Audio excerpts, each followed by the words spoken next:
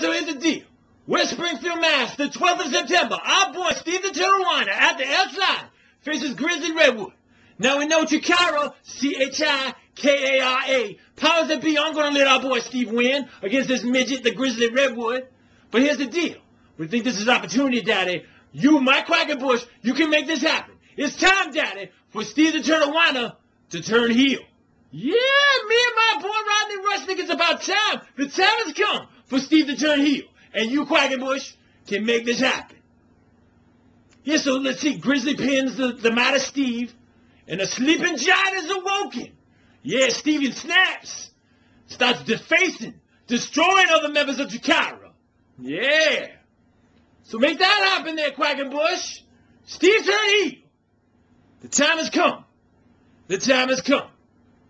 What do y'all think? Is it about time Steve the Turtle turns heel? We do. We do. Well, that's all we got. Until Steve the Turtle turns heel, we won't be happy. Steven, turn heel, Daddy. Turn heel. Release the Kraken. Yeah. Then we be happy. Then we be happy. That's all we got. Later, Gators. West Springfield, Mass. Make it happen, Quackenbush. Make it happen. Later, Gators.